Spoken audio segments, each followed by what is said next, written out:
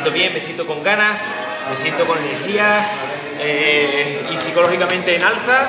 Así que yo creo que es un buen momento para hacer un buen entrenamiento por la mañana con la gente que ha venido, con los compañeros y, y nada.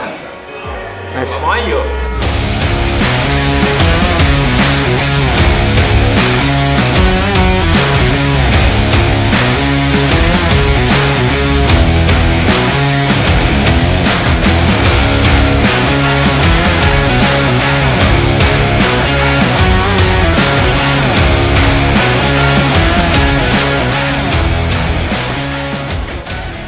Preparación de Enrique yo la veo la mejor de España, vamos, eh, un ex luchador de UFC, es como el padrino de la MMA española, el primero a haber llegado, entonces con él no se puede fallar, tiene un montón de recursos y todo eso, así que...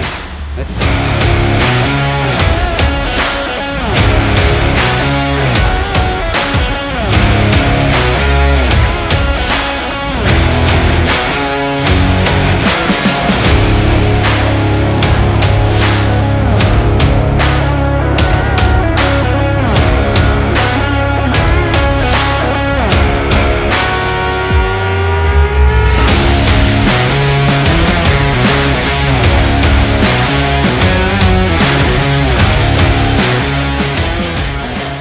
No deja de entrenar en ningún momento.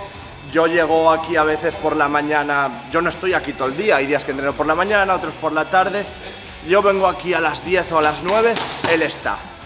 Otros días vengo a la última hora y me voy de aquí a las 11, él está.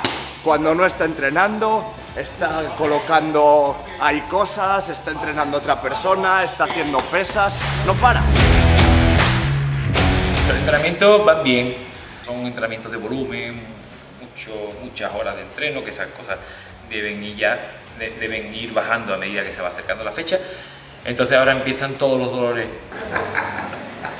Oh, qué tanto. Me he desarrollado mucho en el tema del tema de estrategia y esas cosas porque nunca, nunca he tenido grandes aptitudes, digamos. Nunca he sido el más pegador, el que tenía el mejor jiu-jitsu, el que tenía la mejor lucha, nunca he, tenido, nunca he sido un tío especialmente habilidoso, así que tenía que desarrollar pues el tratar de cogerte por donde yo creo que falla el otro. De cara a WoW 3, pues la verdad es que sí que realmente estoy emocionado porque llevo mucho tiempo fuera, de los tomos.